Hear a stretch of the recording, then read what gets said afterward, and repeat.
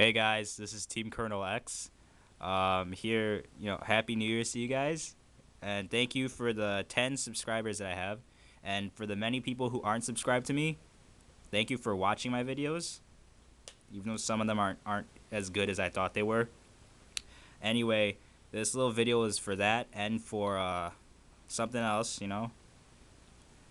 I got this Yu-Gi-Oh! GX book number nine. It's in Japanese, of course, because it's not in English yet. And okay, um, and yeah, so I'm gonna open it for you guys because I thought this was pretty cool. I can read some of it, so you know, not all of it, but some of it. Anyway, there was supposed to be like, I think some like card in there or something. The last elemental hero. It's pretty cool. Uh, Oh yeah, we're gonna look for that first. we're gonna look for that first, and it's right here. Elemental Hero, the last one. The dark one. Elemental Hero... Escuri Dao.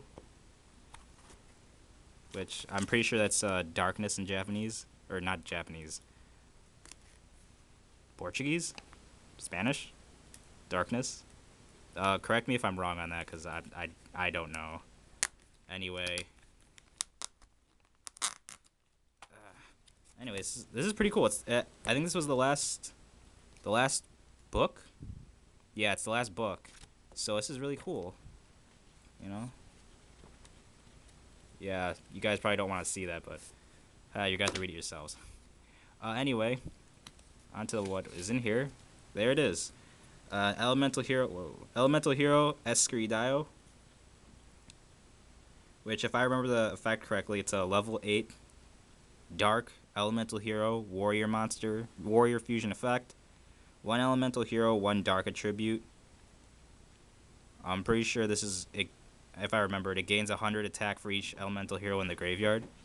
Pretty good. 25 attack, 2000 defense. Uh, okay, yeah. Well, anyway, thank you guys for watching. Hopefully I get more subscribers in the future.